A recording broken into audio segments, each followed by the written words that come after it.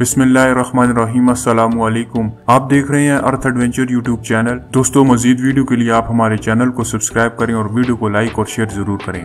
دوستو، آپ کو بتاتے چلیں، بھارت کے خلاف میچ میں آصف علی اور شاہین افریدی کی جگہ دو کھلاڑیوں کو کھلانے پر غور کیا جا رہا ہے۔ پاکستان کرکٹ ٹیم کی انتظامیہ بھارت کے خلاف میچ میں دو سپنر اماد وسیم اور شاداب خان کو کھلانے پر غور کر رہی ہے تاکہ پانچ ریگولر بارز کے ساتھ میچ کھیلا جائے، جبکہ ان کی جگہ شاہین شاہ، فریدی اور آصف علی کو ڈراپ کر دیا جائے گا۔ جیو نیوز کے مطابق، بھارت کے خلاف اہم میچ میں محمد عامر، حسن علی اور وہاب ریاض کے ساتھ دو سپنر کھیلیں گے۔ شاداب خان کو شاہین افریدی کی جگہ اور اماد وسیم کو آصف علی کی جگہ ٹیم میں شامل کیا جائے گا۔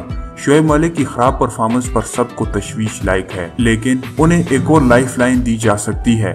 ایسے وقت میں جبکہ آسٹریلیا کے خلاف سینچری بنانے والے حارث سویل باہر بیٹھے ہیں، شعیب ملک کو ایک اور موقع دینے کا فیصلہ کیا گیا ہے۔ سابق کپتان شعیب ملک کو انگلینڈ میں خراب ریکارڈ کے باوجود ورلڈ کپ کے لیے پاکستانی ٹیم میں شامل کیا گیا اور وہ اب بھی ٹورنامنٹ میں اپنی کارکردگی سے انصاف نہیں کر سکے۔ آسٹریلیا کے خلاف میچ میں شعیب ملک نے کئی بار مس فیلڈنگ بھی کی ہے، لیکن بیٹنگ میں صفر پر آؤٹ ہونے سے ان کی پرفارمنس پر سوال اٹھائے جا رہے ہیں۔ دوستو، آپ کی کیا رائے ہے؟ کیا آصف علی اور شاہین افریدی کو کھلانا چاہیے یا نہ کھلانا چاہیے؟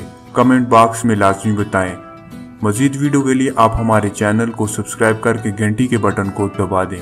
دوبارہ ایک اور ایسی ویڈیو میں ملتے ہیں۔ تب تک اللہ حافظ۔